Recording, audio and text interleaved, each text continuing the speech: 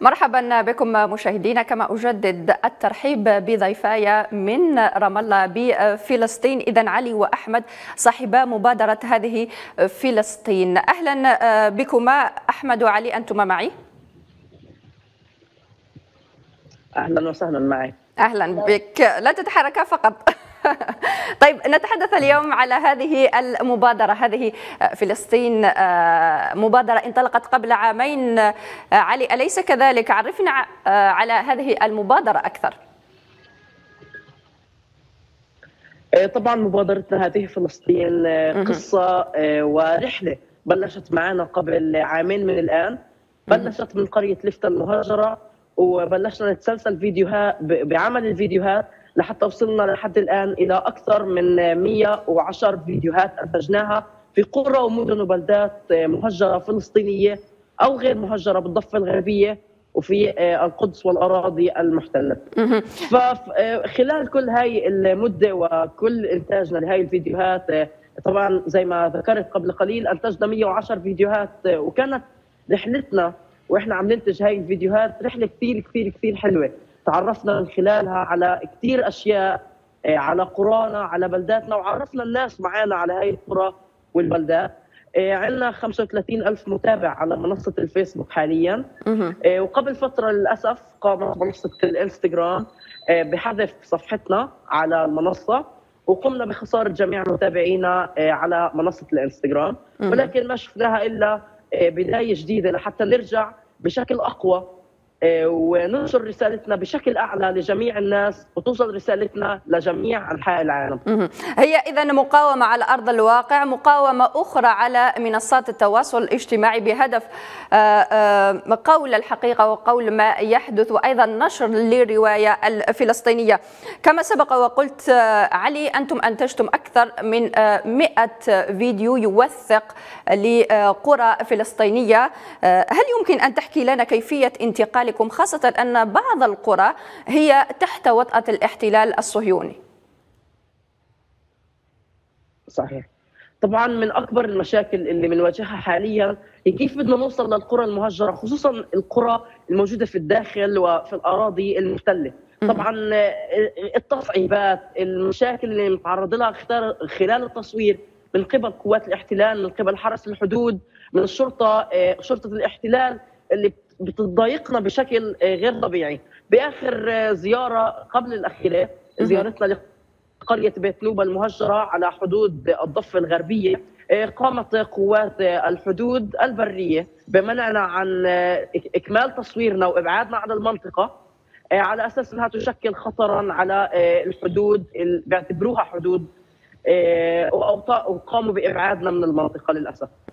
طيب أنتقل الآن إلى أحمد، هناك الكثير من الفيديوهات يتم من خلالها التوثيق للقرى الفلسطينية، لكن الملفت أيضا في الفيديوهات التي تقومون بتقديمها أنها فيها أسلوب سلس جدا، أسلوب شيق وأيضا بسيط وهناك أيضا اشتغال على الصورة بشكل كبير. أتوجه إليك أحمد أحمد بهذا السؤال من يساعدكما في عملية تركيب هذه الفيديوهات وأيضا تصويرها؟ وكتابة النص أيضا. مبادرتنا هذه فلسطين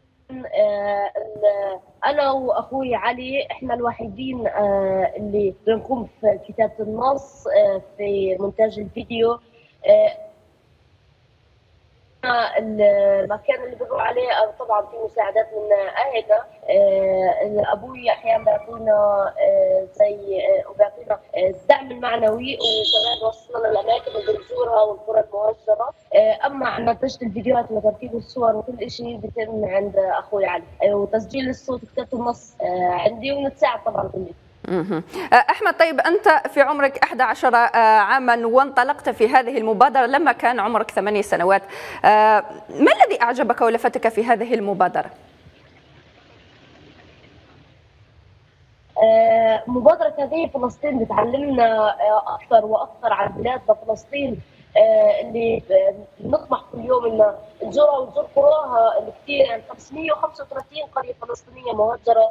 هو حلمنا نوثق نوثقها كلياتها واللي بحفزنا دعم الناس انه ومتابعينا وطبعا بناء أراضينا اللي بتحب نزورها. آه، طيب هذه الفيديوهات آه، هي آه، تحمل دقائق فقط تروي قصصا كثيرة تعودون من خلالها إلى ماضي هذه القرى وكيف كانت. لكن أكيد الاشتغال ما وراء الكاميرا على هذه الأمور وهذه الفيديوهات يستغرق الكثير من الوقت. أليس كذلك علي؟ طبعا الفيديو من ناحية التصوير بأخذنا بالعادة من ساعتين لثلاث ساعات في الموقع. مرات للأسف من آه، التضييقات وبنضطر إنه ياخذنا وقت أكثر التصوير بالموقع لأنه ما عمرنا تركنا الموقع اللي بنروح عليه بدون ما نصوره وناخذ المادة اللي بنحتاجها لحتى ننتج الفيديو اللي بدنا إياه واللي بدنا نوصل الفكرة من خلاله. ف آه، مرحلة التصوير نفسها بتاخذنا تقريبا ثلاث لاربع ساعات بالوضع طبيعي. والمونتاج بيكون قسم على أوقات مختلفة ونشتغل عليها أنا وأحمد مع بعض. والصوت برضه نفس الشيء بنعملهم مع بعض وبنشتغل مع بعض على هذا الموضوع. طبعا هذا الشيء باخذ منا كثير وقت. طيب هل آه، يعني أخذتم دورات تكوينية في مجال التصوير التركيب وما إلى ذلك؟ أم آه، أنها هواية فقط ويشاهد آه، المشاهد كل هذا الإبداع في فيديوهات التي تقدمونها؟ آه، طبعا قبل ما نبلش في مبادرتنا آه، كنت أنا بعمل فيديوهات خاصة لي على اليوتيوب. فمن خلال هاي الفيديوهات تعلمت أشياء ولو كانت جدا جدا جدا جدا بسيطة عن المونتاج والتصوير وإنتاج الفيديوهات ولكنها أعطتني نظرة خفيفة وخلتني أحب وأعطتني الشغف والإلهام لحتى أشتغل على آه، هاي المبادرة ويجي ببالي إنه فعلا يلا خلينا نصور ونوثق ونورجي العالم ونورجي الناس. فلسطين وجمالها عكس اللي بحاول يورجيه قوات الاحتلال. طيب طيب حدثنا آه، علي عن نوعية الصعوبات والمشاكل التي تواجهونها. غير أن الاحتلال نعلم أن الوصول إلى هذه المناطق صعب لكن خلال عملية التصوير هل هناك مشاكل محددة معينة؟ مثلا ما يتم تصويره وما تمنعون عنه أيضا؟ ما هي المشاكل بالضبط؟ طبعا أول شيء من أكبر المشاكل اللي إحنا بنواجهها هو كيف بدنا نوزن ما بين إيه، الدراسة والمونتاج ومواعيد التصوير. إيه، ثانيا وإحنا خلال خلال خلال مواعيد التصوير ولما نروح نزور القرى المهجره والبلدات الفلسطينية طبعا صار معنا كثير مشاكل لا تعد ولا تحصى. مثلا نسينا عد العدة نسينا بعض المواد أماكن مغلقة أماكن ممنوع إنه نقترب منها. يعني في كثير أماكن قرى وصلنا لها الاحتلال مسكرها ممنوع إنه ندخل عليها. مثلا قرية عمواس المهجرة الاحتلال قام بإغلاق أغلب المرافق الموجودة فيها. ما تبقى غير مكان منزل قديم بنقدر ندخل عليه ونصوره. للأسف الشديد هاي من أكبر الصعوبات وال... يعني إحنا بنتألم وبنزعل لما نشوف هاي الأماكن الجميلة مسكرة ومش كثير ناس بتعرفها وبتوصل عليها. فإحنا هدفنا كمبادرة هذه فلسطين نوصل الفكرة لكل العالم ونورجي فلسطين والعالم كله إيش هي القرى الفلسطينية؟ وإيش هي القرى المهجرة وكيف هي فلسطين عن جد؟ جميل جدا هذا التوثيق آه، بالنسبة للقرى ولتاريخها أيضا لهوية فلسطين. بشكل عام هذه الهوية والثقافة التي تقومون بالحفاظ عليها. طيب أحمد أعود إليك.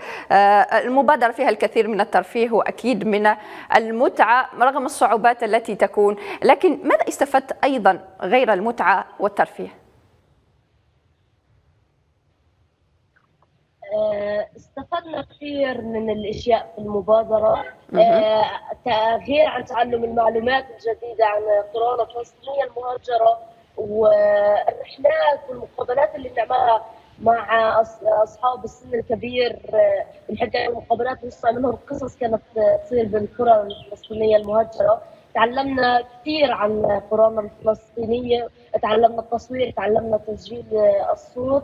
وعادي يتعلم التصوير والمونتاج ماذا تشعران خلال زيارتكما لهذه القرى لهذه الأماكن التي غالبا ما يكون الوصول إليها متعب بسبب تضييقات الاحتلال؟ طبعا مشاعرنا آه، خلال زيارة القرى وزياراتنا جميعها بشكل عام هي ما بين ألم على فرح على يعني هي مشاعر ملخبطة مش مشاعر واحدة. لأنه أنت لما تروح على قرية مهجرة هي مهجرة. كان بيجي ببالك هل كان في ناس فعلا؟ يعني كيف كانوا يعيشوا هون؟ بتنبسط لما تشوف الخضار والطبيعة الجميلة بتنبسط لما تشوف كيف البيوت موجودة بتنبسط لما تشوف البيارات ولما تشوف أشجار الزيتون اللي ممكن كانوا يسترزقوا منها ويشتغلوا فيها. وبتتألم برضه كيف أهالينا تهجروا من هاي القرى. تركوا بيوتهم وتركوا أغراضهم في سبيل فلسطين في سبيل تحرير فلسطين. وكانوا بيآمنوا إنهم ممكن فعلا يرجعوا على بيوتهم يرجعوا يعيشوا ببيوتهم يرجعوا يلقطوا شجر الزيتون اللي زرعوه بإيديهم. ممكن إنهم يرجعوا ويكملوا حياتهم اللي بدوها في قراهم المهجرة. أمام كل يعني هذا التعب وهذا الاشتغال على الفيديوهات في المقابل كيف يكون رجع الصدى من رواد منصات التواصل؟ كيف يتلقون هذه الفيديوهات التي تعرضونها عليهم؟ طبعا الناس تدعمنا تدعمنا في تعليقها باللايف بمشاهدتها للفيديو تبعنا.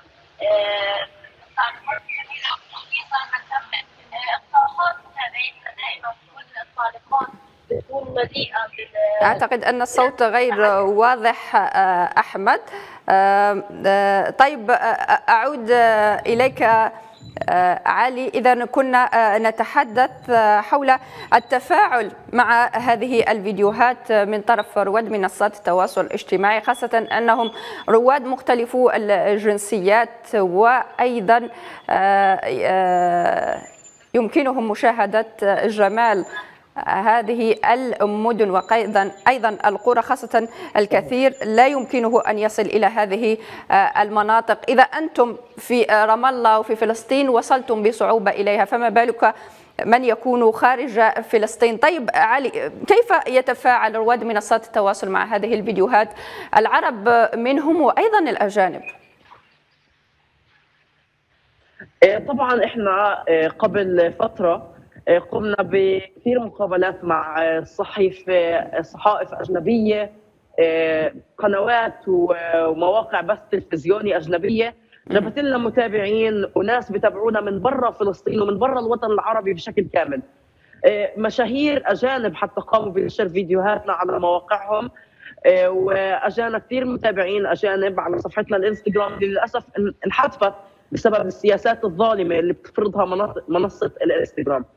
طبعا على الصعيد العربي كثير من المؤثرين وصناع المحتوى ورواد مواقع التواصل الاجتماعي قاموا بدعمنا ولو حتى في مشاركة على الستوري أو مشاركة لفيديو من الفيديوهات اللي قدمناها مثل كثير وكثير وكثير من صناع المحتوى الموجودين في الوطن العربي. ماذا عن التعليقات؟ هل تأتي دوما إيجابية أم هناك تعليقات سلبية؟ كيف تأتي التعليقات؟ ومن أين بالتحديد أين هو جمهوركم من كل هذا؟ تيجي عندنا تعليقات كثيرة على البوستات والفيديوهات اللي بننشرها كثير منها من من الجزائر. وفي من الدول اجنبيه ولكن كمان في من من الأشخاص داخل الأراضي المحتله يقترحون إن نزور أراضيهم وبلادهم والأماكن اللي تركوها. يعني في حدا اقترح ان نزور مقهى سيدو ونروح نشوف إذا لسه موجود. آه هذا هو النوع من التعليقات اللي بتوصلنا على صفحتنا طبعا آه بتوصلنا كثير برضه رسائل من ناس خارج بلد خارج فلسطين. آه هم مغتربين عن البلد.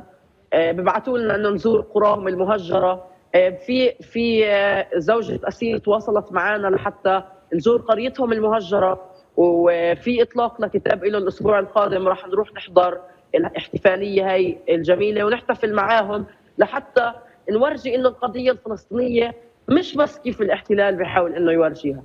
جميل جدا. شكرا لكما علي وأحمد على كل هذه التوضيحات فيما يخص مبادرة هذه فلسطين.